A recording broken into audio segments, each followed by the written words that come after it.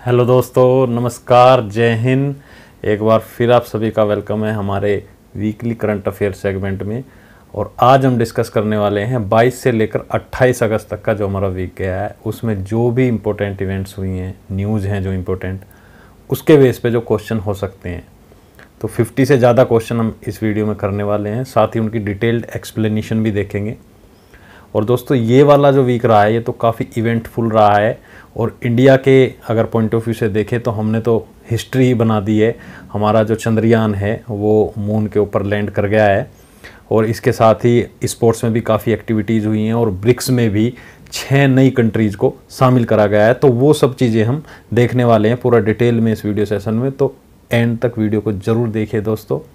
और अगर आप पहली बार चैनल विज़िट कर रहे हैं तो चैनल को सब्सक्राइब ज़रूर करें, जिससे कि हमारे आने वाले वीडियोज़ के जो अपडेट्स हैं, जो नोटिफिकेशंस हैं, वो आपको रेगुलरली मिलते रहें। तो इसी के साथ दोस्तों, स्टार्ट करते हैं।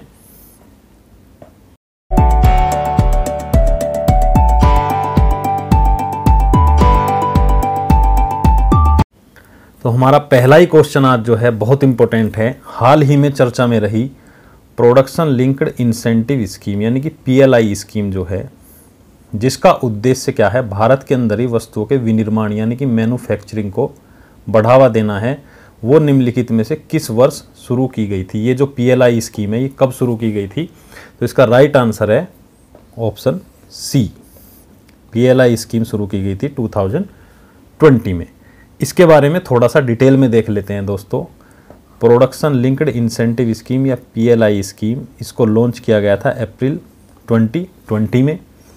और इनिशियली इसको लॉन्च किया गया था, जो हमारे large scale electronics manufacturing sector है, उसके लिए इसको लॉन्च किया गया था। बाद में इसमें और सेक्टर भी इंक्लूड किए गए। और करंटली अभी इसमें कितने सेक्टर्स इंक्लूडेड है? थर्टीन सेक्टर्स पे ये लागू है पीएलआई स्कीम और ये पीएलआई स्कीम है क्या दोस्तों? इसमें जो है कुछ इंसेंटिव दिए जाते हैं उन कंपनीज़ को जो भारत के अंदर ही प्रोडक्शन करती हैं। और उसमें क्या है टैक्स रिबेट हो सकती है या गवर्नमेंट के कुछ और फैसिलिटीज़ हो सकती हैं जो उनको मिलती हैं। आत्मनिर्भर भारत अभियान जो हमारा है, ये उसका ही एक पार्ट है पीएलआई स्कीम और इसके जो गोल हैं, अगर हम इसके टारगेट देखें तो मेन जो इसका गोल है, वो यही है कि हमें अपना जो इम्पोर्ट बिल्स हैं, वो हमें रिड्यूस करने हैं, वो हमें कम करने हैं, जो हम इम्पोर्ट बिल्स हमारे हैं उनको रिड्यूस करना इसका मेन टारगेट है। इसके अलावा जो हमारी डोमेस्टिक मैन्युफैक्चरिंग है, उसको ग्लोबली कॉम्पिटिटिव बनाना, हमारी कॉस्ट कॉम्पिटिटिवनेस जो है, उसको इम्प्रूव करना, और फोकस इसका मेन किस पे है, जो सनराइज और स्ट्रेटजिक सेक्टर्स हैं, उन पे इसका मेन फोकस है, जो पीएलआई स्कीम है। आगे चलते हैं दोस्तों, हाल ही में भारत सरकार के द्वारा लॉन्च किए गए भारत एनसीएपी का संबंध निम्नलिखित में से किससे है? भारत एनसीएपी का संबंध है दोस्तों, कार सेफ्टी से। A is the right answer इसके बारे में देख लेते हैं, भारत एनसीएपी है क्या? ये न्यू कार असेसमेंट प्रोग्राम है।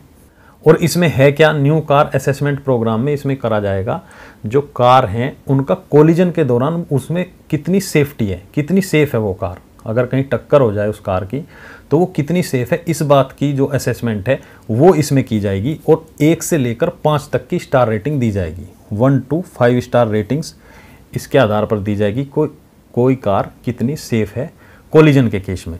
और ये वॉलंटरी है अभी, जो कार मैन्युफैक्चरर है, उनके लिए जो कराना चाहे वो करा सकता है और कब से लागू होने वाला है? एक अक्टूबर 2023 से लागू होगा। और ये एप्लीकेबल किस व्हीकल पे है? वो पैसेंजर व्हीकल जिसमें ड्राइवर्स के अलावा एट सीट से ज़्यादा ना हो। Passenger vehicles with not more than eight seats other than driver तो उनके ऊपर ये लागू होगा। तो भारत एनसीएपी क्या है? न्यू कार असेसमेंट प्रोग्राम और ये कार सेफ्टी से रिलेटेड है। यानी कि कार की टक्कर के दौरान वो कार कितनी सेफ़ है, उसका असेसमेंट इसमें किया जाएगा। आगे चलते हैं। हाल ही में हिंसा की वजह से चर्चा में रही मणिपुर राज्य की विधानसभा की सदस्य संख्या कितनी है? जो वहाँ की लेजिस्लेटिव असेंबली है, उसकी सदस्य संख्या कितनी है? Right answer is B sixty और मणिपुर, आपको पता ही है, क्यों न्यूज़ में रहा? कि वहाँ पर दो कम्युनिटीज़ हैं, कुकी और मैतेई। इनके बीच में कुछ डिस्प्यूट हुआ और वायलेंस हुआ बहुत ज़्यादा तो इस वजह से मणिपुर जो है, वो न्यूज़ में रहा। और हाल ही में जो वहाँ की सरकार है, उसने मणिपुर की जो लेजिस्लेटिव असेंबली है, उसका सेशन बुलाने के लिए गवर्नर से मांग की, लेकिन गवर्नर ने उसको मना कर दिया कि अभी राज्य की हालत ठीक नहीं है तो हम नहीं बुला सकते। और मणिपुर के बारे में थोड़ा सा जान लेते हैं। मणिपुर की कैपिटल क्या है दोस्तों? इम्फाल है। सीएम एन बीरेन सिंह है। Governor Anusuiya Uikey high court इसका इम्फाल में है। और ये कब स्टेट बना था? फुल फ्लैज्ड स्टेट मणिपुर बना था 1972 में। पहले ये यूनियन टेरिटरी था। कुकी और मैती कॉन्फ्लिक्ट जो हुआ, उसकी वजह से यहाँ काफ़ी वायलेंस हुआ, ये हम पहले भी देख चुके हैं। और केईबुल लामजाओ नेशनल पार्क और लोकटक लेक इनके ऊपर भी क्वेश्चन पूछ लिए जाते हैं कि ये कहाँ पर है? केईबुल लामजाओ नेशनल पार्क है, मणिपुर में और लोकटक लेक भी। और ये केईबुल लामजाओ नेशनल पार्क है, यहाँ पर क्या मिलता है? सेंगाई सेंगाई का एक हिरन है। और ये इसका राज्य पशु भी है स्टेट एनिमल भी है, मणिपुर का। मणिपुर है कहाँ? ये नॉर्थ ईस्ट में, यहाँ पर। इम्फाल इसकी कैपिटल है, नागालैंड, असम और मिजोरम से इसकी बाउंड्री लगती है और इंटरनेशनल बॉर्डर लगता है इसका, म्यांमार से। तो इसके ऊपर क्वेश्चन आ सकता है, काफ़ी न्यूज़ में रहा था मणिपुर। पश्चिम बंगाल विधानसभा द्वारा गठित एक समिति के द्वारा हाल ही में निम्नलिखित में से किस दिन को बांग्ला दिवस के रूप में मनाने की अनुशंसा, यानी कि रिकमेंडेशन की गई है? तो वहाँ की जो लेजिस्लेटिव असेंबली है वेस्ट बंगाल की, उन्होंने एक समिति बनाई थी, एक कमेटी बनाई थी, जिसका काम यही था कि बंगाल का या पश्चिम बंगाल का जो फाउंडेशन डे है वो किस दिन को मनाया जाए। तो उन्होंने अभी क्या रिकमेंडेशन की है? पंद्रह अप्रैल। फिफ्टीन अप्रैल को उन्होंने जो फाउंडेशन डे है बंगला दिवस के रूप में पश्चिम बंगाल का, वो मनाने के लिए उन्होंने रिकमेंडेशन दी है, जो पश्चिम बंगाल की विधानसभा द्वारा गठित की गई कमेटी थी। पश्चिम बंगाल के बारे में जान लेते हैं। वेस्ट बंगाल की कैपिटल क्या है? कोलकाता है। सीएम ममता बनर्जी है। गवर्नर यहाँ के कौन है? सी वी आनंद बोस है। हाई कोर्ट कोलकाता में है। और असेंबली स्ट्रेंथ इनकी कितनी है? 294 है। और अगर जोग्राफिकली इसको देखें तो ये हमारा वेस्ट बंगाल है। बाउंड्री अगर इसकी देखें, असम से सिक्किम, बिहार, झारखंड और उड़ीसा से लगती हैं। इंटरनेशनल बाउंड्री भी इसकी तीन देशों से लगती हैं दोस्तों। भूटान, नेपाल और बांग्लादेश से।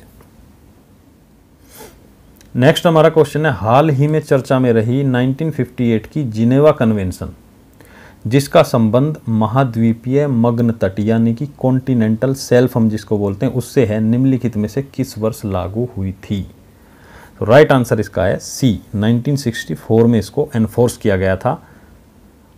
और ये है क्या? कॉन्टिनेंटल सेल्फ क्या होता है? पहले तो हमें ये पता होना चाहिए कॉन्टिनेंटल सेल्फ जो है कॉन्टिनेंट का ही पार्ट होता है और ये वो पार्ट होता है जो समुद्र के नीचे, पानी के अंदर होता है दोस्तों। जैसे ये हमारा कॉन्टिनेंट है तो ये यहाँ तक का जो इसका पार्ट होगा, ये आप देख रहे हैं, ऊपर ये समुद्र है यहाँ तक तो ये वाला पार्ट जो होगा, इसको हम बोलते हैं कॉन्टिनेंटल सेल्फ इससे आगे जैसे जैसे हम समुद्र में गहराई की तरफ़ बढ़ते जाते हैं तो क्या आता है? कॉन्टिनेंटल स्लोप आता है कॉन्टिनेंटल राइज और एबिसल प्लेन जो इसकी तलैटी होती है समुद्र की, या जो बेस होता है, उसको क्या बोलते हैं? Abyssal plain convention on continental shelf, ये जिनेवा कन्वेंशन है 1958 की।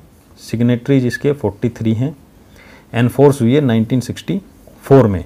और ये किसके अंडर आती है? ये भी United Nations conference on the laws of seas, UNCLOS 1982 की। ये एक अम्ब्रेला कन्वेंशन है। इसके अंदर ही जितनी भी मेरीन से रिलेटेड जो हमारा है, जितनी भी ट्रीटीज़ हैं, जितनी भी कॉन्फ्रेंसेज है, वो सब इसी के अंडर आती हैं यूएन क्लोज के।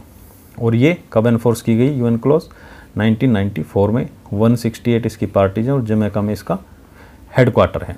तो ये कॉन्टिनेंटल सेल्फ से रिलेटेड है जिनेवा कन्वेंशन 1958 की। और इसमें यही बताया गया कि कॉन्टिनेंटल सेल्फ पर जो राइट होगा, वहाँ पर जो मिनरल्स हैं, जो भी डिपॉजिट्स हैं, वहाँ पर एक्सप्लोरेशन करना है, माइनिंग करनी है, उस पर किस देश का, किस तरीके से कितना राइट होगा।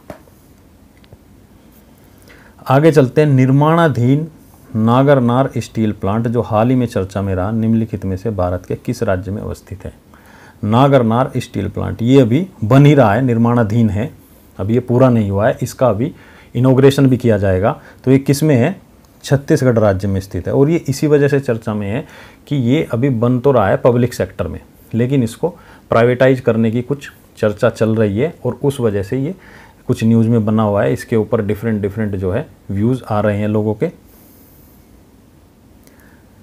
छत्तीसगढ़ को देख लेते हैं। रायपुर इसकी कैपिटल है। सीएम भूपेश बघेल है। Governor Biswabhusan Harichandan, high court Bilaspur में है इसका।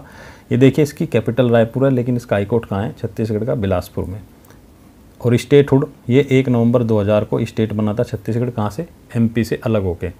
और असेंबली सीट यहाँ पर कितनी है? नाइन्टी अभी हाल ही में यहाँ पर इलेक्शन भी होने वाले हैं तो असेंबली सीट का भी ध्यान रखिए। और ये छत्तीसगढ़ है। और इसकी जो बाउंड्री है उत्तर प्रदेश से झारखंड से, उड़ीसा, आंध्र प्रदेश, तेलंगाना, महाराष्ट्र और मध्य प्रदेश से लगती है। और ये जो नागरनार स्टील प्लांट की जो हम बात कर रहे हैं, ये इसके बस्तर में है। छत्तीसगढ़ के बस्तर में स्थित है ये। नेक्स्ट हमारा क्वेश्चन है, हाल ही में ninth Commonwealth parliamentary association India region conference का आयोजन निम्नलिखित में से किस स्थान पर किया गया? तो ninth CPA India region conference ये आयोजित की गई दोस्तों, उदयपुर में। आंसर सी इज़ राइट और उदयपुर कहाँ है? ये राजस्थान में साउदर्न राजस्थान में है उदयपुर। राजस्थान की कैपिटल जयपुर है सीएम अशोक गहलोत हैं गवर्नर कलराज मिश्र है high court Jodhpur bench Jaipur में भी है इसकी। ये भी इम्पोर्टेंट है कि इसका जो हाई कोर्ट है, जो इसकी मेन बेंच है, वो इसकी कैपिटल में नहीं है राजस्थान की। वो कहाँ है? जोधपुर में, जयपुर में नहीं है। जयपुर में इसकी दूसरी बेंच है। असेंबली सीट्स यहाँ पर कितनी है? टू हंड्रेड यहाँ पर भी इलेक्शन होने वाले हैं तो असेंबली सीट्स यहाँ पर टू हंड्रेड है। और एक इसमें एक और इम्पोर्टेंट चीज़ है, जो ये ninth C P A India region conference हुई है उदयपुर में। इसकी जो थीम रही दोस्तों थीम क्या रही? Strengthening democracy and good governance in digital age ये इसकी थीम रही। थीम को लेकर भी कई बार क्वेश्चन पूछ लिया जाता है तो इसको भी ध्यान रखिए। Strengthening democracy and good governance in digital age हाल ही में चर्चा में रहा, यासूनी नेशनल पार्क निम्नलिखित में से किस दक्षिण अमेरिकी देश में अवस्थित है? यहाँ पर बात हो रही है दक्षिण अमेरिकी। ये बताई दिया गया हमें कौन सा दक्षिण अमेरिकी देश है वो? इक्वेडोर। ये यासूनी नेशनल पार्क इक्वेडोर में है। और ये क्यों चर्चा में है, यासूनी नेशनल पार्क? किस लिए ये न्यूज़ में है? यहाँ पर कुछ ऑयल ड्रिलिंग प्रोजेक्ट स्टार्ट होने थे, लेकिन वहाँ की सरकार ने क्या है, इसके लिए रेफरेंडम कराया वहाँ।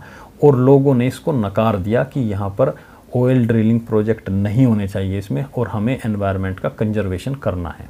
ठीक है?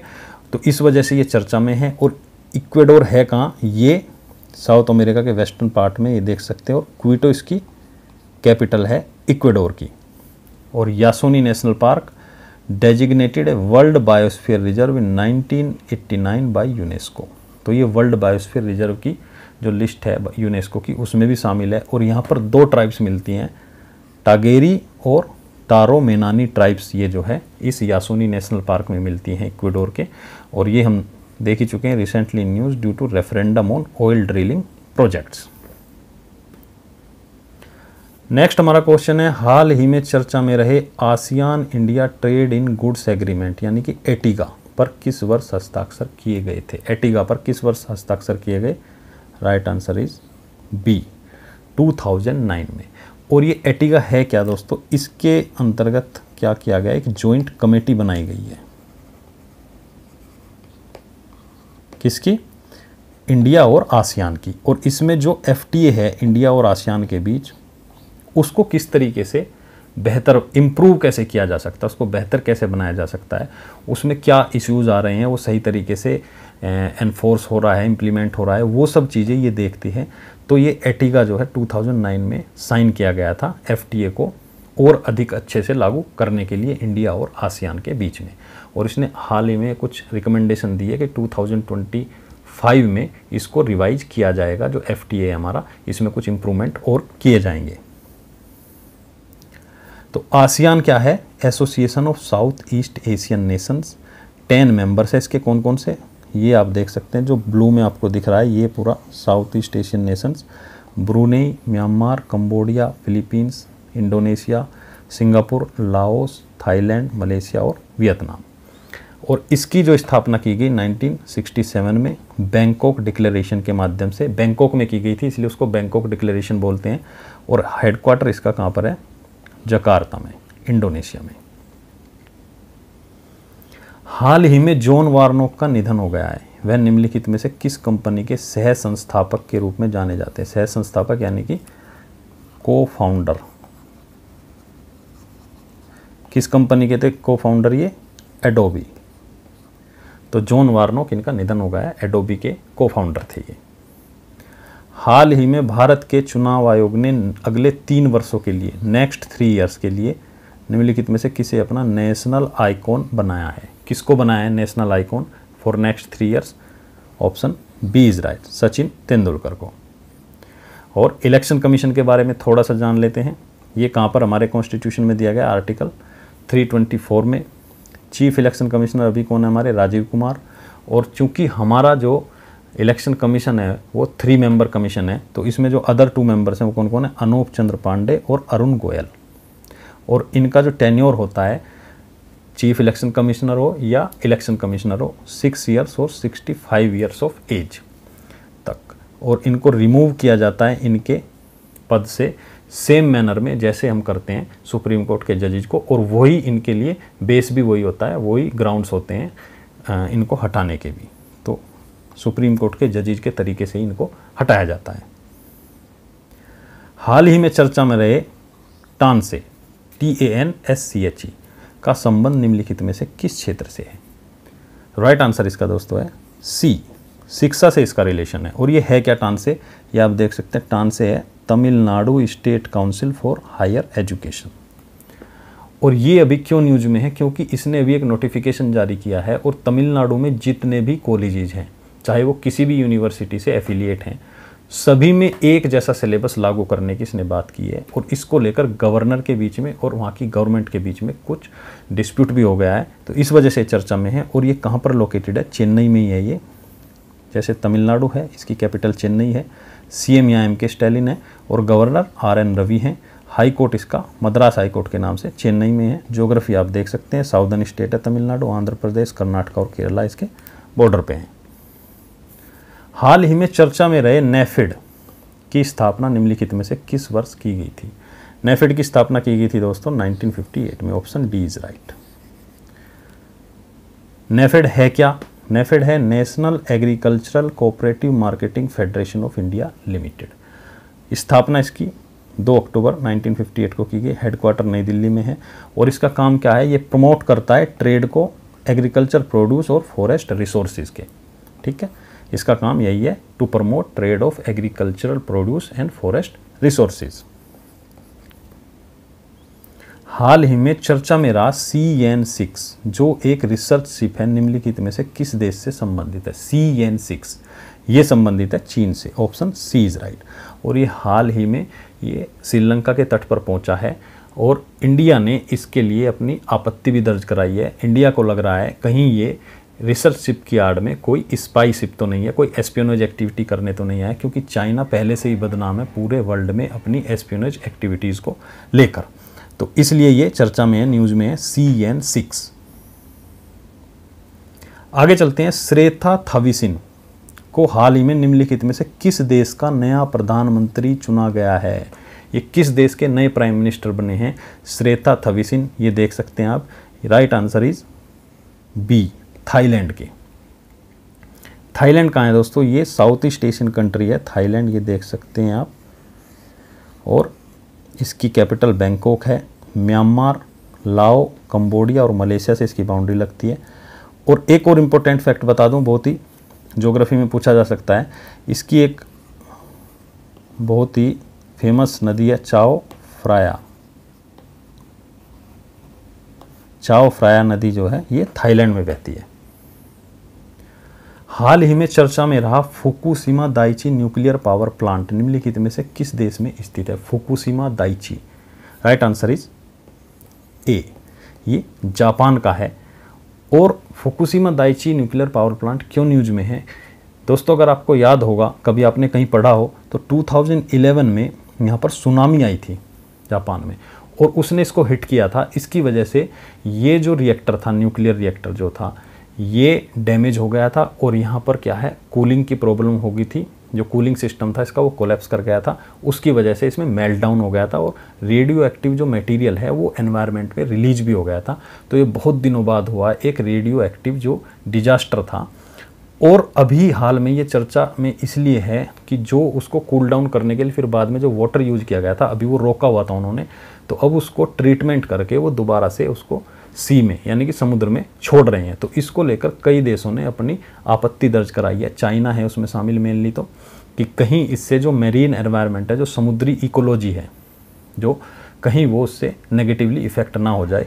तो इस बात को लेकर ये इसलिए न्यूज़ में बना हुआ है फुकुशिमा दाइची रिएक्टर ये जापान में है। और ये किस आइलैंड पे है? हुंसु आइलैंड पे है जापान के। जापान का अगर आपको पता हो तो जापान में मेनली चार आइलैंड है दोस्तों क्यूसु सिकोकू होन्सु और होक्कैडो सबसे बड़ा जो आइलैंड है, वो होन्सु ही है। तो ये होन्सु आइलैंड पे फुकुशिमा दाइची रिएक्टर और जापान की जो कैपिटल है टोक्यो वो भी इसी आइलैंड पे है होन्सु पर ही।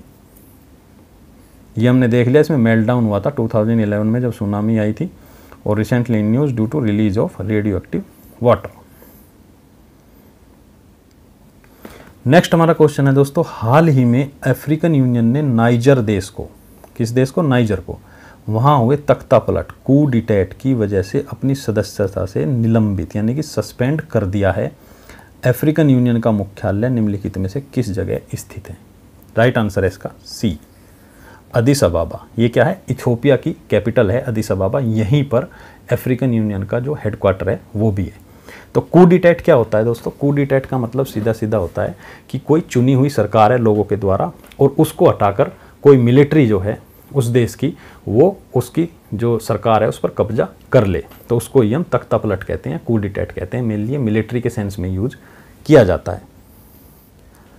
अफ्रीकन यूनियन जो है, ये 2002 में इसकी स्थापना की गई। 55 मेंबर्स हैं हेडक्वार्टर इसका एदिस अबाबा में। है और ये हम देख सकते हैं, इथोपिया, इसकी जो कैपिटल है एदिस अबाबा, यहाँ पर इसका हेडक्वार्टर है। और ये जो कू डिटेट कहाँ पर हुआ है, नाइजर में। ये नाइजर, ये कंट्री है। इसकी कैपिटल क्या है? Niamey. N I A M E Y Niamey capital है नाइजर की। आगे चलते हैं। हाल ही में भारत के चंद्रयान थ्री ने चंद्रमा के दक्षिणी ध्रुव, यानी कि साउथ पोल पर लैंड किया है। ऐसा करने वाला भारत कौन से नंबर का देश बना है? साउथ पोल पर लैंड करने वाला चंद्रमा के। कौन से नंबर का देश बना है Bharat? Option A is right पहले नंबर का। फ़र्स्ट कंट्री है इंडिया, साउथ पोल पर लैंड करने वाला मून के। और ये सबसे इंपॉर्टेंट क्वेश्चन है दोस्तों इस वीक का। इसके बारे में और डिटेल भी देख लेते हैं चंद्रयान थ्री के। और कहीं से भी आपको इसके बारे में जो भी डिटेल मिले चंद्रयान थ्री के, उसको तो अपने नोट्स में शामिल कर ही लीजिए, क्योंकि क्वेश्चन तो डेफिनेटली आना ही है चंद्रयान थ्री को लेकर। तो चंद्रयान थ्री जो है, ये फॉलो ऑन मिशन था चंद्रयान टू का। जैसे आपको पता हो, जो हमारा चंद्रयान टू था, वो पार्शली सक्सेसफुल रहा था कि जो ऑर्बिटर था, जो मून का ऑर्बिट में जिसको हमें करना था इस्टेब्लिश वो तो हो गया था, लेकिन जो लैंडर था, उसको हम लैंड नहीं करा पाए थे। वो हमने इस चंद्रयान थ्री में कर दिया है। लॉन्च कब किया गया था? 14 जुलाई 2023 को। लैंडिंग 23 अगस्त 2023 को। तो दोनों डेट याद रखिए लॉन्च की भी और लैंडिंग की भी। जिस दिन हमारा जो लैंडर है, वहाँ पर लैंड किया। और ये कहाँ से लॉन्च किया गया था? श्री हरिकोटा, जो आंध्र प्रदेश में है। मॉड्यूल इसमें दो थे प्रोपल्सन मॉड्यूल और लैंडर मॉड्यूल प्रोपल्सन मॉड्यूल का काम क्या था? इसको वहाँ तक ले जाना। जो मून है, उसकी ऑर्बिट तक, और बाकी जो लैंडर मॉड्यूल था, उसका काम था लैंडर को वहाँ लैंड कराना। लैंडर का नाम क्या रखा गया? विक्रम। रोवर का नाम रखा गया प्रज्ञान। और लैंडर का नाम जो विक्रम रखा गया, ये रखा गया किसके ऊपर? जो विक्रम साराभाई थे, जो स्पेस साइंटिस्ट और जिनका योगदान था इसरो की स्थापना में। इसरो की स्थापना 1969 में की गई थी। और उसमें मेजर रोल प्ले किया था विक्रम साराभाई ने। तो उन्हीं के नाम पर ये लैंडर का नाम जो है विक्रम रखा गया। टोटल मास इसका कितना था? 3900 KG.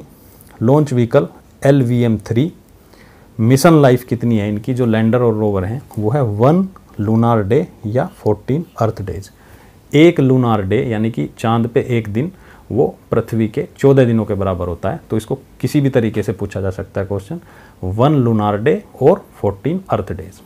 और वन लूनार डे ही इसका क्यों रखा गया है दोस्तों?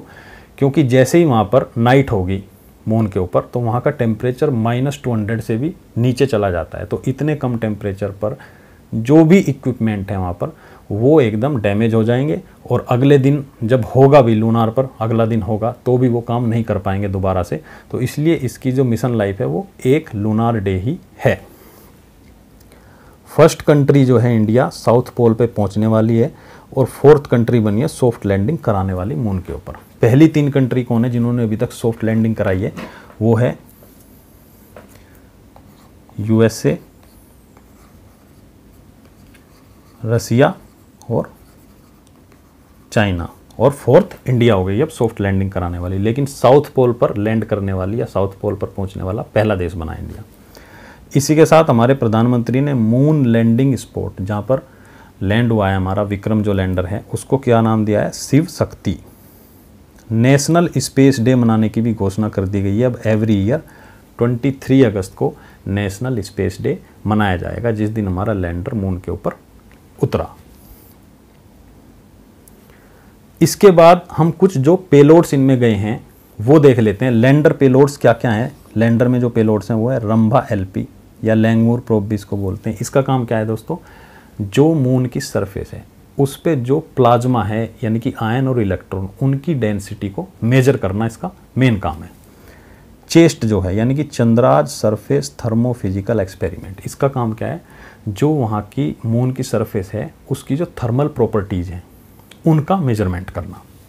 और इल्सा जो है instrument for lunar seismic activity इसका काम है जो मून की सरफेस है, वहाँ जो सिज्मिक एक्टिविटीज़ हैं, जो भूकंपीय गतिविधियाँ हैं, उनको मेजर करना। तो ये तीन तो पेलोड हो गए लैंडर के। अब हैं रोवर के पेलोड्स वो कौन कौन से ए पी एक्सएस यानी कि अल्फ़ा पार्टिकल एक्सरे स्पेक्ट्रोमीटर इसका काम है वहाँ की जो केमिकल कंपोजिशन है, उसको एनालाइज करना। और एल आई बी एस ये लेजर इंड्यूस्ड ब्रेकडाउन स्पेक्ट्रोस्कोप है। इसका काम है वहाँ की एलिमेंटल कंपोजिशन जैसे कैल्शियम मैग्नीशियम पोटेशियम, इस तरीके के एलिमेंट्स का एनालाइज करना। इसका काम है कंपाउंड जो है, जो हमारा ए पी एक्सेस है, ये करेगा कंपाउंड का एनालाइज केमिकल कंपोजिशन का। और प्रोपल्सन मॉड्यूल पेलोड जो है, वो क्या है? सेप ये वहाँ ऑर्बिट में है उसकी मून की। और ये क्या करेगा? Spectropolarimetry of habitable planet earth इसका जो पूरा नाम है। और ये वहाँ सर जो स्पेक्ट्रल एनालिसिस करेगा अर्थ का, जो ये सेप है। नेक्स्ट हमारा क्वेश्चन है दोस्तों, हाल ही में चर्चा में रही नुमालीगढ़ रिफाइनरी निम्नलिखित में से किस राज्य में स्थित है? नुमालीगढ़ रिफाइनरी ये स्थित है दोस्तों, असम में ऑप्शन सी इज़ राइट और ये क्यों न्यूज़ में है? कि ये हाई ग्रेड डीजल जो है, नेपाल को सप्लाई होने की कुछ बात हो रही है तो नुमालीगढ़ रिफाइनरी से किया जाएगा वो, इसलिए न्यूज़ में है। और असम को देख लेते हैं, ये असम है सेवन सिस्टर्स जो हैं नॉर्थ ईस्ट के सेवन स्टेट उसका पार्ट है ये। बाकी के जो बचे हुए छः स्टेट्स हैं उससे इसकी बॉर्डर लगता है। अरुणाचल प्रदेश है, नागालैंड है, मणिपुर, मिजोरम, त्रिपुरा और मेघालय। असम की कैपिटल दिसपुर है सीएम हिमंता विश्व शर्मा है governor Gulab Chand Kataria high court Guwahati में इसका। नेक्स्ट जो क्वेश्चन है सी आर राव, जिनका हाल ही में निधन हो गया है, निम्नलिखित में से किस क्षेत्र से संबंधित थे ये? सी आर राव, ये देख सकते हैं आप। ये कौन थे? मैथमेटिशियन थे ऑप्शन ए इज़ राइट और टू बी प्रेसाइज अगर हम बोल तो ये स्टैटिस्टिशियन थे। इनका हाल ही में निधन हो गया है। हाल ही में बीसीसीआई ने वनडे इंटरनेशनल वर्ल्ड कप के लिए, जो 2023 में इंडिया में होने वाला है ओडीआई वर्ल्ड कप उसके लिए निम्नलिखित में से किसे टिकटिंग प्लेटफॉर्म बनाने की घोषणा की है? टिकट कहाँ बुक किए जाएँगे इसके? वो किए जाएँगे बुक माई सो पर ऑप्शन बी इज़ राइट। तो अगर आपको टिकट बुक करने हैं वनडे इंटरनेशनल वर्ल्ड कप के लिए तो वो कहाँ करेंगे? बुक माई सो पर हाल ही में नेशनल ग्रीन ट्रिब्यूनल, एनजीटी के नए अध्यक्ष कौन बने हैं?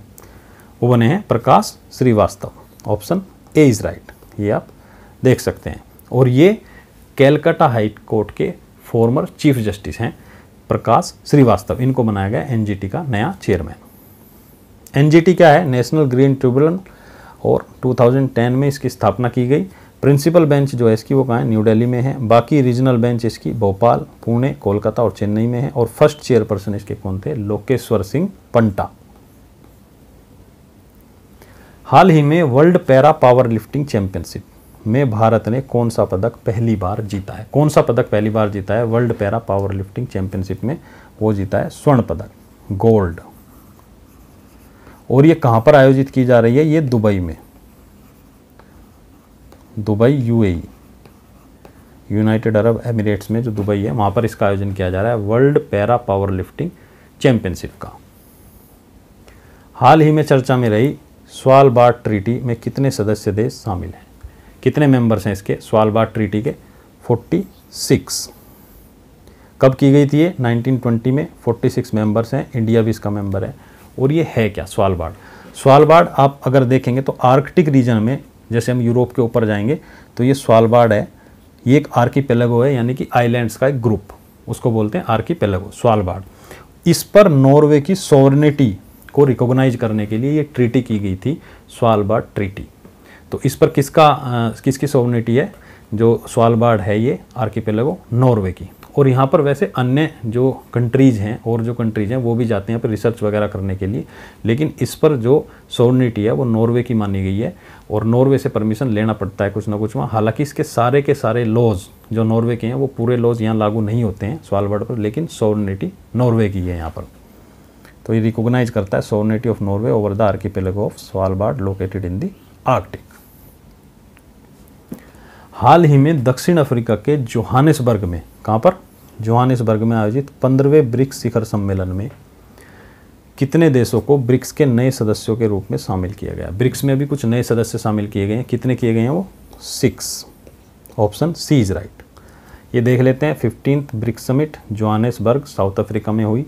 इसमें न्यू मेंबर्स जो है, इंक्लूड किए गए ब्रिक्स में कितने? सिक्स। कौन कौन से? Iran, Saudi Arabia, United Arab Emirates, Egypt Ethiopia और अर्जेंटीना। इसके साथ ही ब्रिक्स में पहले कौन कौन थे? ब्राज़ील, रसिया, इंडिया, चाइना और साउथ अफ्रीका। इसका फॉर्मलाइजेशन किया गया 2006 में हेडक्वार्टर संघाई में इसका पहली समिट जो इसकी हुई थी 2009 में ब्रिक के रूप में हुई थी। तब इसमें साउथ अफ्रीका भी नहीं था। और ये कहाँ हुई थी? येकाटेरिनबर्ग, रसिया में। इसके बाद साउथ अफ्रीका को इंक्लूड किया गया 2010 की जो समिट हुई ब्राज़ीलिया में, ब्राज़ील में। ठीक है? और अब इसमें ये जो जोहानिसबर्ग में हुई समिट फिफ्टींथ ब्रिक्स समिट इसमें छः सदस्य ये शामिल किए गए हैं। तो अब इसकी पूरी सदस्य संख्या कितनी हो गई है इलेवन हो गई है ब्रिक्स की। तो ये मज़बूत संगठन बनता जा रहा है। आगे चलते हैं। हाल ही में sixty ninth national film awards की घोषणा की गई है दोस्तों। निम्नलिखित में से किसे बेस्ट फीचर फ़िल्म का अवार्ड दिया गया? तो सिक्सटी नाइन्थ जो नेशनल फ़िल्म अवार्ड है, उसमें बेस्ट फीचर फ़िल्म का अवार्ड मिला है रॉकेटरी को। Option C is right, Rocketry the Nambi effect. बाकी और कौन कौन से अवार्ड मिले हैं, किसको वो भी देख लेते हैं, वो भी पूछे जा सकते हैं एग्ज़ाम में। Sixty ninth national film awards for the year 2021 best feature film Rocketry the Nambi effect R Madhavan ही इसके डायरेक्टर प्रोड्यूसर और एक्टर हैं। बेस्ट मेल एक्टर कौन है? Allu Arjun. Pushpa the rise movie के लिए बेस्ट फीमेल एक्टर है आलिया भट्ट और Kriti Sanon. Jointly इनको दिया गया है आलिया भट्ट को गंगूबाई काठियावाड़ी के लिए और इसको मिमी के लिए। Best supporting actor male Pankaj Tripathi Mimi के लिए। Best supporting actor female Pallavi Joshi the Kashmir files के लिए। नरगिस दत्त अवार्ड, जो नेशनल इंटीग्रेशन के लिए दिया जाता है मूवी को, वो दिया है कश्मीर फाइल्स को। विवेक अग्निहोत्री ने इसको डायरेक्ट किया है कश्मीर फाइल्स को। बेस्ट डायरेक्टर का अवार्ड मिला है निखिल महाजन को। मराठी फ़िल्म है गोदावरी, उसके डायरेक्शन के लिए। बेस्ट पॉपुलर फ़िल्म जो रही है, वो आरआरआर और बेस्ट हिंदी फ़िल्म सरदार उधम। और अगर आप अपनी विजुअल मेमोरी के लिए भी देखना चाहें तो ऐसे आपके अच्छे से ध्यान रहेगा, जैसे रॉकेटरी है बेस्ट फीचर फ़िल्म ये पॉपुलर फ़िल्म रही है आर ये दोनों बेस्ट एक्ट्रेस हैं, जो कृति सेनन और आलिया भट्ट और अल्लू अर्जुन बेस्ट एक्टर इन्फोसिस ने हाल ही में निम्नलिखित में से किसे अपना ब्रांड एम्बेसडर बनाया है? किसको बनाया है? Right answer is B Rafael Nadal को। ये टेनिस से रिलेटेड है, राफेल नडाल। हाल ही में अजरबैजान की राजधानी बाकू में आयोजित चेस वर्ल्ड कप का खिताब निम्नलिखित में से किसने जीता है? चेस वर्ल्ड कप में जो टाइटल है वो किसने जीता है? मैग्नस कार्लसन ने। ये कहाँ के हैं, नॉर्वे के। और किसको हराया इन्होंने? ये आर प्रागनंद को, जो इंडिया के हैं, इनको हराकर इन्होंने ये वर्ल्ड कप जो है चेस का, इसका जो टाइटल है वो जीता है। हाल ही में यूनाइटेड वर्ल्ड रेसलिंग जो रेसलिंग की इंटरनेशनल लेवल पर सर्वोच्च संस्था है, सबसे बड़ी संस्था यही है ऑर्गेनाइजेशन उसने भारत का जो रेसलिंग फेडरेशन ऑफ़ इंडिया है, उसको अपनी सदस्यता से सस्पेंड कर दिया, निलंबित कर दिया है। तो यू डब्ल्यू डब्ल्यू यानी कि यूनाइटेड वर्ल्ड रेसलिंग का जो हेडक्वार्टर है, वो कहाँ पर है? वो है स्विट्ज़रलैंड में। और ये क्यों इसने सस्पेंड किया है? क्योंकि इन्होंने कुछ टाइम फ्रेम दिया था, जिसके अंदर उन्होंने बोला था कि डब्ल्यू एफ़ आई जो रेसलिंग फेडरेशन ऑफ़ इंडिया है, उसके इलेक्शन हो जाने चाहिए। तो इलेक्शन नहीं हुए क्योंकि यहाँ पर कुछ डिस्प्यूट चल रहा है तो उन्होंने इसको अपनी सदस्यता से ही निलंबित कर दिया है अभी। और यूनाइटेड वर्ल्ड रेसलिंग इसकी स्थापना 1912 में की गई। हेडक्वार्टर इसका लुसानी स्विट्जरलैंड में। मेंबरशिप इसकी 176 जो फेडरेशन है ऑल ओवर द वर्ल्ड वो इसके मेंबर्स हैं। हाल ही में असम राज्य की कैबिनेट ने कितने नए ज़िले बनाने की घोषणा की असम राज्य ने। कितने नए ज़िले? चार। अभी असम में कितने ज़िले हैं दोस्तों? थर्टी वन है। तो ये प्लस फोर हो जाएँगे तो अभी थर्टी फाइव ज़िले हो जाएँगे टोटल असम में। कौन कौन से ज़िले बनाने की घोषणा की गई है? ये देखिए, एक है बजली, विश्वनाथ, होजाई और तामुलपुर। ये चार नए ज़िले बनाए जाएँगे।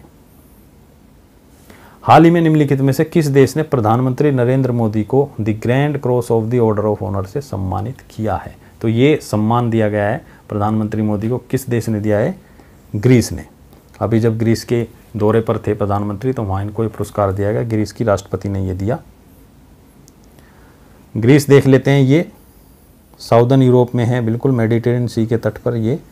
बाउंड्रीज की बुल्गारिया, मैसिडोनिया और अल्बानिया से लगती है और एक तरफ़ इसके एजियन सी भी है और इधर टर्की से इसकी बाउंड्री लगती है।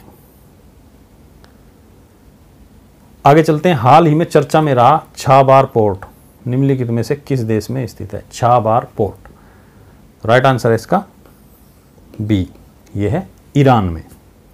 इसको देख लेते हैं। ये यहाँ पर स्थित है दोस्तों, ईरान में Chabahar port.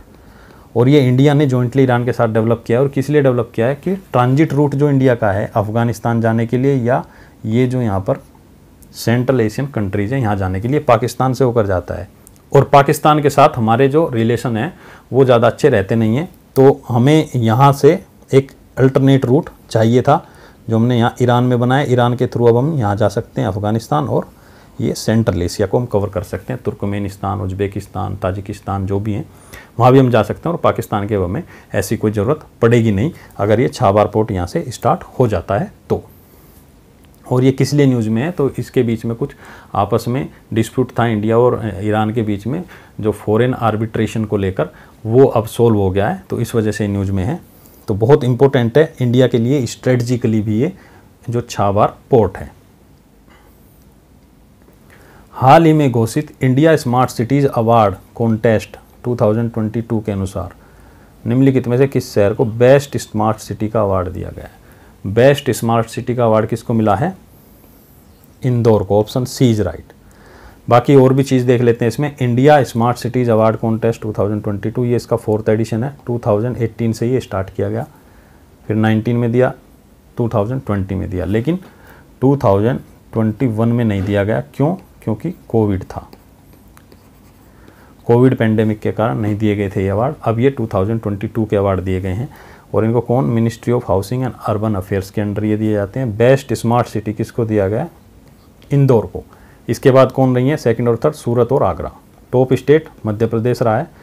Tamil Nadu second Rajasthan third और बेस्ट यूनियन टेरिटरी यानी कि जो केंद्र शासित प्रदेश है, वो कौन सा रहा है? चंडीगढ़। तो कोई सा भी क्वेश्चन पूछा जा सकता है, सारे फैक्ट्स इसमें याद रखिए। नेक्स्ट हमारा क्वेश्चन है दोस्तों, हाल ही में अजरबैजान के बाकू में आयोजित वर्ल्ड शूटिंग चैंपियनशिप 2023 में भारत जो है पदक तालिका यानी कि मेडल टैली में कौन से स्थान पर रहा है? राइट आंसर इसका है बी सेकंड रहा है। फ़र्स्ट कौन रहा है? चाइना चाइना ने टॉप किया मेडल टैली 15 गोल्ड 7 सिल्वर और 6 ब्रॉन्ज के साथ। इंडिया सेकंड रहा है 6 गोल्ड और 8 ब्रॉन्ज के साथ। इंडिया ने कोई सिल्वर मेडल यहाँ नहीं जीता है और यूएस से इसमें थर्ड रहा है फाइव गोल्ड टू सिल्वर और वन ब्रॉन्ज के साथ। और वर्ल्ड शूटिंग चैंपियनशिप एक हुई बाकू में, अजरबैजान में। आगे चलते हैं, हाल ही में मुख्यमंत्री सीखो कमाओ योजना की शुरुआत निम्नलिखित में से किस राज्य में की गई? किस राज्य में शुरू की गई ये योजना? Right answer is Madhya Pradesh में। ऑप्शन ए इज़ राइट और ये है क्या मुख्यमंत्री सीखो कमाओ योजना बेसिकली इसमें जो है, वहाँ का जो यूथ है, जो युवा हैं, उनको कुछ स्किल जो सिखाई जाएँगी ट्रेनिंग के दौरान और उनको कुछ उसमें स्टाइपेंड भी दिया जाएगा। तो इसीलिए इसको बोला गया सीखो भी और कमाओ भी। तो मुख्यमंत्री सीखो कमाओ योजना। ये की गई है मध्य प्रदेश में। भोपाल कैपिटल है। CM Shivraj Singh Chouhan, governor Mangubhai C Patel, assembly seats हैं टू थर्टी। यहाँ भी इलेक्शन होने वाले हैं। हाल फ़िलहाल में, और हाई कोर्ट इसका कहाँ है? जबलपुर में। ये भी इम्पोर्टेंट इसलिए है क्योंकि इसकी जो कैपिटल है, भोपाल है, लेकिन इसका जो हाई कोर्ट है प्रिंसिपल बेंच जो है, उसकी कहाँ है? जबलपुर में। आगे चलते हैं। हाल ही में जारी न्यूट्रिशन अवेयरनेस इंडेक्स 2023 के अनुसार, निम्नलिखित में से कौन सा राज्य शीर्ष पर रहा है? न्यूट्रिशन अवेयरनेस इंडेक्स यानी कि न्यूट्रिशन के बारे में किसको कितना अवेयरनेस है? उस बात को लेकर ये किया जाता है। तो सबसे ऊपर इसमें रहा पंजाब। इसके बारे में देख लेते हैं, इसको रिलीज़ कौन करता है? राइट टू प्रोटीन कैंपेन के द्वारा ही रिलीज़ किया जाता है। इसमें किस चीज़ का असेसमेंट किया जाता है? अवेयरनेस अफोर्डेबिलिटी और एक्सेसिबिलिटी टू न्यूट्रिशन इन तीन चीज़ों का अवेयरनेस अफोर्डेबिलिटी और एक्सेसिबिलिटी इनका असेसमेंट इसमें किया जाता है। तो सबसे टॉप पे रहा पंजाब और सबसे नीचे रहा बिहार इसमें। नेक्स्ट हमारा क्वेश्चन है, हाल ही में जारी स्वच्छ वायु सर्वेक्षण 2023 के अनुसार 10 लाख से अधिक जनसंख्या वाले शहर में निम्नलिखित में से कौन सा शहर शीर्ष पर रहा है? टॉप पर कौन सा रहा है? स्वच्छ वायु सर्वेक्षण में। 10 लाख से अधिक आबादी वाले जो शहर है। Right answer is B Indore. Indore कहाँ है? एमपी में। मध्य प्रदेश में है ये। और क्या है ये? स्वच्छ वायु सर्वेक्षण सेंट्रल पॉल्यूशन कंट्रोल बोर्ड के द्वारा किया जाता है सीपीसीबी टॉप सिटीज़ इसमें रही हैं, इंदौर फ़र्स्ट नंबर पे, फिर आगरा, थाने, श्रीनगर और भोपाल। एक क्वेश्चन इसमें यह भी बन सकता है कि इसकी एमपी की जो है दो सिटी टॉप फाइव में रही हैं, इंदौर और भोपाल। भोपाल पाँचवें नंबर पर रही है, इंदौर फ़र्स्ट नंबर पर तो ये भी एक क्वेश्चन बन सकता है। इसके साथ ही एक प्राण है, ये पोर्टल है for regulation of air pollution in non attainment cities और ये लॉन्च किया गया था किसके लिए? Monitoring of implementation of national clean air programme N C A P two में जो लॉन्च किया गया था नेशनल क्लीन एयर प्रोग्राम उसकी मॉनिटरिंग के लिए ये पोर्टल लॉन्च किया गया था और इसमें क्या है, जो भी सिटीज़ हैं, वो अपने क्लीन एयर के लिए उठाए गए जो भी स्टेप्स हैं, उनको इस पर अपलोड करती हैं उसकी इन्फॉर्मेशन इस पोर्टल पे। हाल ही में निम्नलिखित में से किस राज्य सरकार ने प्लास्टिक की, पानी की बोतलों पर प्रतिबंध लगाने का फैसला किया है? नोटिफिकेशन जारी कर दिया है तो वो कौन है? असम। असम ने बैन कर दिया है पानी की जो बोतलें हैं, प्लास्टिक की, उनको। हाल ही में चर्चा में रही सीताकली फोक आर्ट निम्नलिखित में से किस राज्य से संबंधित है? राइट आंसर है इसका सी ये केरला से संबंधित है, सीताकली फोक आर्ट और ये है क्या? केरला में है और इसको वेदा और पुलाया कम्युनिटीज़ करती हैं। और ये एक तरीके की क्या है? डांस और थिएटर आर्ट है। इसमें जो रामायण के कुछ एपिसोड्स हैं, उनका इसमें एग्जीबिशन किया जाता है उनका प्रदर्शन किया जाता है। थीम इसकी रामायणा है। ठीक है? आगे चलते हैं। हाल ही में भारत तथा एशियन डेवलपमेंट बैंक ने कहाँ, climate change and health centre खोलने की घोषणा की है। Climate change and health centre Bharat ने और एडीबी ने मिलकर कहाँ पर? नई दिल्ली में। तो ये climate change and health centre new Delhi में by India and Asian development bank इसके साथ ही कुछ और इंस्टीट्यूशंस भी इंडिया में खोले गए हैं हाल ही में, जैसे डब्ल्यूएचओ का centre for global traditional medicine ये कहाँ पर है? जामनगर में, गुजरात में। और एक ये डब्ल्यू का ही अटैच जो है, ये अलायंस है alliance for transformative action on climate and health तो इसको भी ध्यान रखिए, कभी पूछा जा सकता है कि अटैच का संबंध किससे है तो आपको ध्यान रखना है हेल्थ से। आगे चलते हैं, हाल ही में चर्चा में रहा काजीरंगा नेशनल पार्क, निम्नलिखित में से किस राज्य में अवस्थित है? यह है असम में दोस्तों। Option C is right. और ये किस वजह से न्यूज़ में है? कि इसको पहली बार वोमेन फ़ील्ड डायरेक्टर मिली है फ़र्स्ट टाइम इसमें कोई वोमेन फ़ील्ड डायरेक्टर बनी है और उनका नाम क्या है? सोनाली घोष. क्या नाम है? सोनाली घोष. ये इसकी पहली वोमेन फ़ील्ड डायरेक्टर बनी है और काजीरंगा नेशनल पार्क जो है ये वन हॉर्न राइनोज या एक सिंग वाले गेंडे के लिए और ये टाइगर रिज़र्व भी है, इसलिए फ़ेमस है और ये 1985 में इसको यूनेस्को वर्ल्ड हेरिटेज साइट में भी शामिल कर लिया गया था। आगे चलते हैं। हाल ही में G twenty culture ministers meeting का आयोजन निम्नलिखित में से किस स्थान पर किया गया? जी ट्वेंटी के कल्चर मिनिस्टर्स की मीटिंग का। ये किया गया वाराणसी में। Option C is right.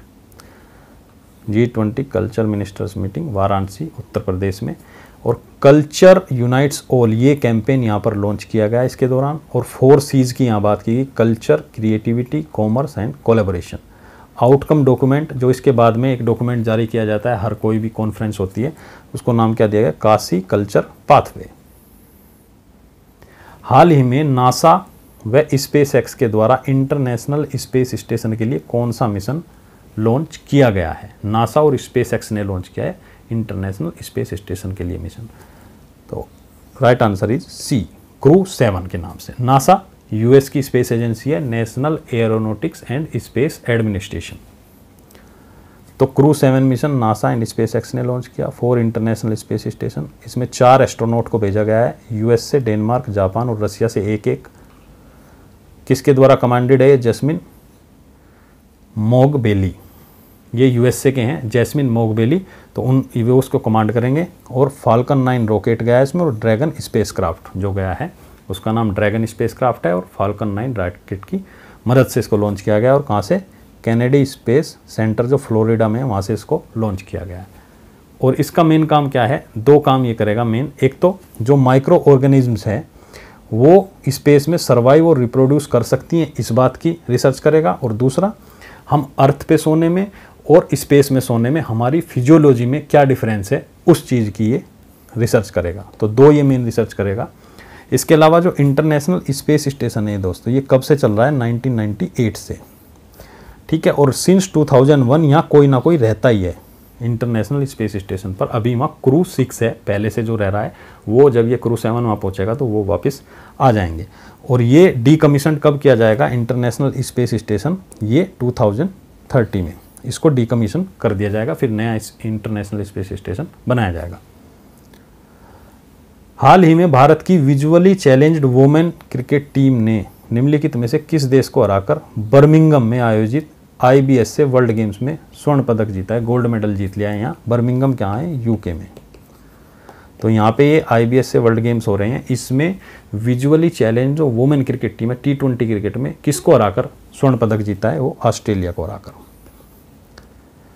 ये देख लेते हैं आईबीएस से वर्ल्ड गेम्स बर्मिंगम में 18 से 27 अगस्त 2023 के बीच एवरी फोर इयर्स में होते हैं और वोमेन क्रिकेट टीम ने गोल्ड मेडल जीता है ऑस्ट्रेलिया को हराकर टी में मैन क्रिकेट टीम ने सिल्वर मेडल जीता है। ये विनर यहाँ पर कौन रहा है? पाकिस्तान रहा है। तो पाकिस्तान से हार गए हैं फाइनल में। से क्या है? इंटरनेशनल ब्लाइंड स्पोर्ट्स फेडरेशन वैसे इसको लग रहा होगा आप, आपको आई से है लेकिन यहाँ बोल रहे हैं इंटरनेशनल ब्लाइंड स्पोर्ट फेडरेशन इसको दोस्तों पहले इंटरनेशनल ब्लाइंड स्पोर्ट एसोसिएशन बोलते थे इसलिए इसका नाम आई से है लेकिन ये जो इसका एब्रीविएशन है ये एज इट इज़ चल रहा है। हालाँकि इसका नाम वैसे चेंज हो गया है इंटरनेशनल ब्लाइंड स्पोर्ट फेडरेशन इसकी स्थापना की गई 1981 में हेडक्वार्टर इसका बोन में है जर्मनी में।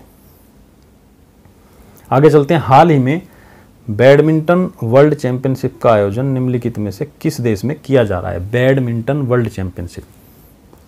डेनमार्क में। डेनमार्क कहाँ है ये? ये आप देख सकते हैं यूरोप में और कोपेनहेगन इसकी कैपिटल है डेनमार्क की। आगे चलते हैं। हाल ही में निम्नलिखित में से कौन नौ वर्ष बाद दोबारा नेशनल चेस चैंपियन बना है? आफ्टर नाइन ईयर्स दोबारा से नेशनल चेस चैंपियन कौन बना है? S P Sethuraman. Option A is right, ये आप देख सकते हैं एस पी सेतुरमन।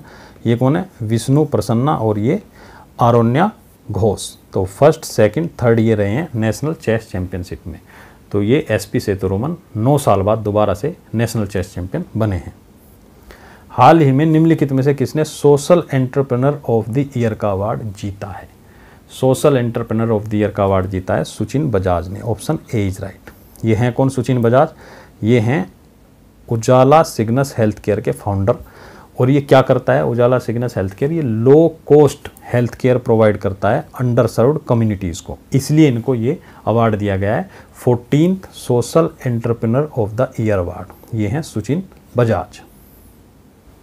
हाल ही में जयंत महापात्रा का निधन हो गया है। वह निम्नलिखित में से किस क्षेत्र से संबंधित थे? ये हैं जयंत महापात्रा और ये थे पोएट और पोएट भी कैसे? इंग्लिश के पोएट थे ये। इंडिया में काफ़ी फ़ेमस थे ये। इंग्लिश के पोएट थे जयंत महापात्रा। हाल ही में निम्नलिखित में से किसने एक नया फ़ैशन स्टोर युस्ता के नाम से लॉन्च किया है? फ़ैशन स्टोर है ये। किसने लॉन्च किया है? रिलायंस रिटेल ने। ऑप्शन ए इज़ राइट और टाटा रिटेल का है टाटा का है जूडियो ठीक है? इसका है जो फ़ैशन स्टोर है जूडियो उसका नाम है। तो ये फ़ैशन स्टोर युस्ता लॉन्च किया है रिलायंस रिटेल ने और इस पर अफोर्डेबल प्राइस पे ही जो क्लोथ्स हैं, वो मिलेंगे।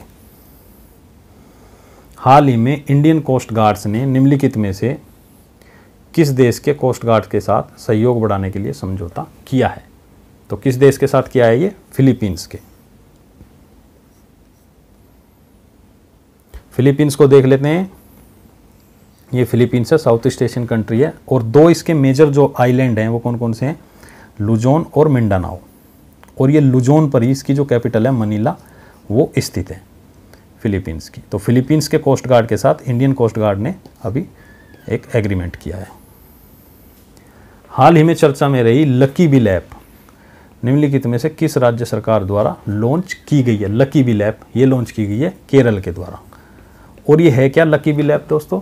इस पर जो कंज्यूमर है, वो अपने जो जीएसटी बिल हैं, जो कंज्यूमर है, जो उसने कोई सामान खरीदा है और उसका जो बिल है जीएसटी बिल वो उस पर अपलोड करता है और इसमें लक्की ड्रॉ निकलते हैं और उसमें कुछ अवार्ड भी दिए जाते हैं जो कंज्यूमर्स हैं उनको। तो इससे कंज्यूमर्स के अंदर ये हैबिट बढ़ेगी कि वो जीएसटी जो पक्के बिल हैं जीएसटी वाले बिल हैं, वो लें। और इससे जो टैक्स इवेजन करते हैं रिटेलर्स जितने भी, उसमें भी कमी आएगी। और इसको अब जो हमारी सेंट्रल गवर्नमेंट है, वो भी इसको पूरे भारत में लागू करने की सोच रही है। हाल ही में ई गवर्नेंस पर 26वें राष्ट्रीय सम्मेलन का आयोजन निम्नलिखित में से किस स्थान पर किया गया? ई गवर्नेंस पर ट्वेंटी नेशनल कॉन्फ्रेंस, ये की गई इंदौर में एमपी में। ठीक है? Twenty six national conference on E governance Indore MP में। और थीम इसकी क्या रही दोस्तों? Bringing citizens industry and government closer तो थीम के ऊपर क्वेश्चन पूछे जाते हैं तो इम्पोर्टेंट है ये, याद रखिए इसको। Bringing citizens industry and government closer और आज का हमारा नेक्स्ट क्वेश्चन है, और लास्ट क्वेश्चन है, हाल ही में चर्चा में रहे रेड प्लस की शुरुआत किस वर्ष की गई थी? तो ये राइट आंसर इसका है दोस्तों 2008 में इसकी शुरुआत की गई थी ऑप्शन बी इज़ राइट ठीक है स्टार्टेड इन 2008 और इसका मेन मकसद क्या था? Reduce green house gas emissions ठीक है, और रेड की फुल फॉर्म क्या? है reducing emissions from deforestation and forest degradation पहले ये रेड ही था खाली। रेड प्लस बाद में हुआ। रेड प्लस करने का रीज़न ये था कि पहले इस पर जो ज़ोर था, वो किस पे दिया जा रहा था? डिफोरेस्टेशन और फॉरेस्ट डिग्रेडेशन इनको ही कम करने का। लेकिन बाद में क्या है? उसके कंजर्वेशन पर फॉरेस्ट के और उसके सस्टेनेबल मैनेजमेंट पर भी फोकस किया गया। तो बाद में इसको रेड प्लस कहने लगे और इसका मेन जो मकसद है वो है to reduce green house gas emissions और ये वॉलेंट्री है और मेनली इसमें डेवलपिंग कंट्रीज़ पे फोकस किया गया है और ये किसके अंडर आता है? U N F C C C united nations framework for convention on climate change तो ये बेसिकली रेड प्लस क्या है? To reduce green house gas emissions तो दोस्तों, आज के सेशन में इतना ही, और हमने जो भी इंपॉर्टेंट इवेंट्स हुई थी इस वीक में, उसको पूरा डिटेल में कवर कर लिया है।